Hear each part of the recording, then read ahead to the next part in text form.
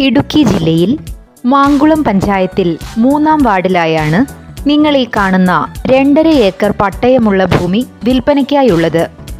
മാങ്കുളത്ത് നിന്നും അഞ്ച് കിലോമീറ്റർ മാത്രം ദൂരത്തിൽ അമ്പതാം മൈൽ എന്ന സ്ഥലത്തുള്ള ഈ പ്രോപ്പർട്ടി മെയിൻ റോഡിൽ നിന്ന് കോൺക്രീറ്റ് റോഡിൽ മുന്നൂറ് മീറ്റർ മാത്രം ദൂരത്തിലായാണ് സ്ഥിതി ചെയ്യുന്നത്.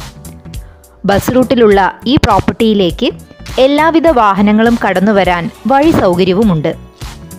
റിസോർട്ടിനും കൃഷിക്കും കെട്ടിടങ്ങൾ പണിയുവാനും മറ്റു റെസിഡൻഷ്യൽ ആവശ്യങ്ങൾക്കും ഒരുപോലെ ഉത്തമമായ ഈ പ്രോപ്പർട്ടിയിൽ നിലവിൽ റബ്ബറും കൊക്കോയുമാണ് കൃഷി ചെയ്തിരിക്കുന്നത്.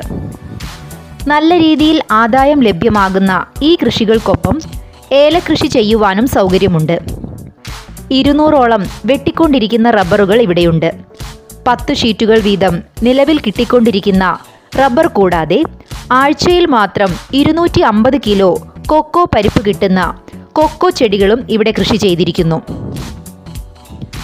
വെള്ളം വൈദ്യുതി വഴി എന്നീ സൗകര്യങ്ങളെല്ലാമുള്ള ഈ പ്രോപ്പർട്ടി ഒരു ചരിഞ്ഞ ഭൂമിയാണെങ്കിലും കെട്ടിട നിർമ്മാണങ്ങൾക്കെല്ലാം വളരെ യോജിച്ചതാണ്.